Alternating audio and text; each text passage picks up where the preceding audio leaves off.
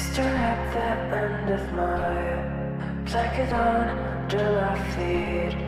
So Boogie Man won't get them. I used to get scared.